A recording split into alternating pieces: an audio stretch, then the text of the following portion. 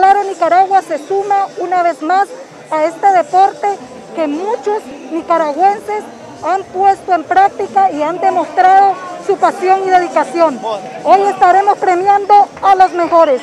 Un reto lleno de adrenalina, confianza y esfuerzo fue todo lo que se vivió en el desafío Ahualcas, en el que más de 300 ciclistas se dieron cita para practicar y competir sanamente bajo un mismo objetivo, el de apoyar al comedor infantil Ana María Vado. El evento premió tres categorías. La primera fue unificada masculina de ruta, quedando en primer lugar Yader Alexander Cerrato la segunda femenina unificado de ruta, llevándose el liderazgo Halima Jiménez.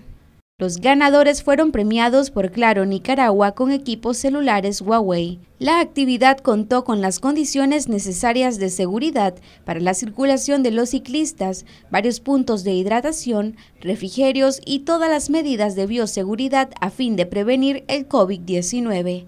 Para Noticias 12, Gabriela Solórzano.